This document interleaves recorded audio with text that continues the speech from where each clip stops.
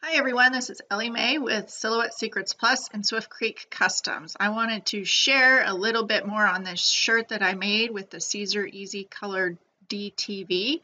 I'm using Silhouette Studio and doing a print and cut, so it's cutting around the images. I will link a tutorial on how to set up print and cut in the description below. This is showing my Cameo for registering those marks, the registration marks that have printed on the page so it can tell where the design is.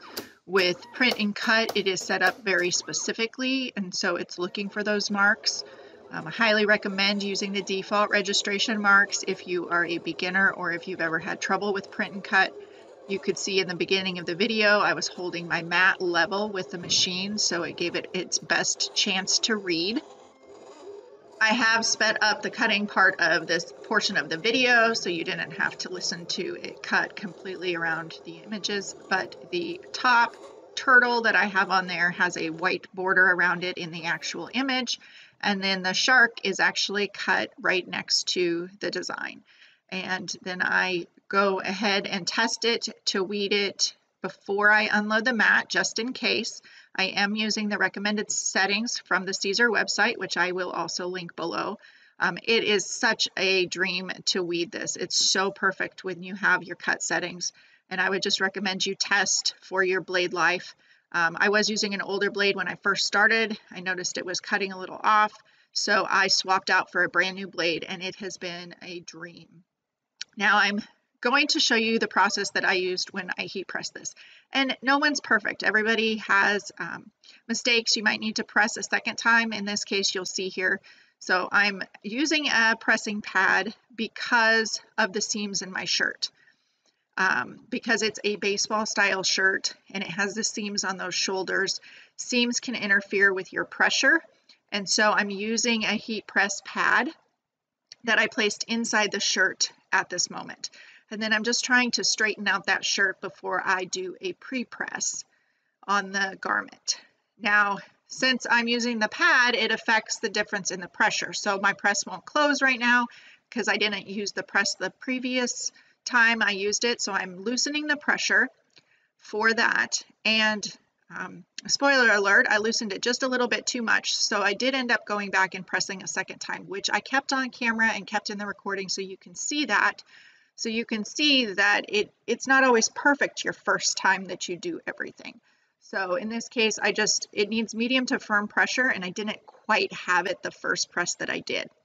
What I'm showing here is that when you have a solid cut, like I do with this shark, with the Siser Easy Color DTV, you do not need a mask. You can just peel that off very easily and I watched a video where Joe did, if your um, DTV curls, you can just hold that down onto your pre-pressed um, object and it'll flatten out a little bit before you press it. So if it, it warms up that surface and so it relaxes the vinyl and that curl should go away and then you can put your parchment paper on top. So now I'm just trying to get it straight. I have a very difficult time with shirts and getting things straight. It's a good thing I don't sell shirts. Um, I just make for personal use. So this is going to be for my son. And parchment paper will give it a matte finish. If you use a Teflon sheet, it will give it more of a glossy finish. So then I sped up the um, pressing time here. So again, you didn't have to watch that. This is my first press. And so I'm going to lift the shirt off of the press. And when I do, um, and I'll point this out here on the video, I noticed that the um, it didn't quite have a good adhesion. My, my pressure just wasn't quite enough. So I pull this up to the camera here and it just didn't feel solid to me. So I'm going to do another press.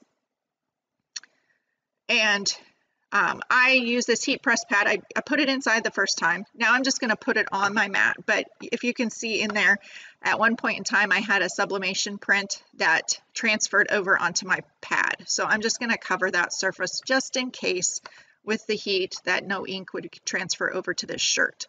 So I covered that and I'm laying it on top of the pressing pad now. And then I'm going to center that on my press and I'm going to give it another press just because I felt it wasn't good enough. And that was completely on me. It was not the product, it was the pressure on my press. Um, when I'm bouncing back and forth between different materials, um, using the pressing pad or not using the pressing pad. It makes a difference when you change your pressure. I do like that I can manually change my pressure. And this time it came out perfect. I can see when I hold it up to the camera here, I can see that texture of the shirt in the transfer.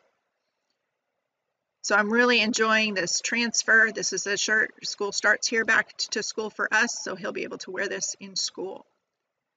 So you can see that texture comes through with this shark image. And that was all done through the Silhouette Studio software, print and cut, and then using the Siser Easy Color DTV. Thanks for watching. If you have questions, drop them below. Have a great day. Thank you.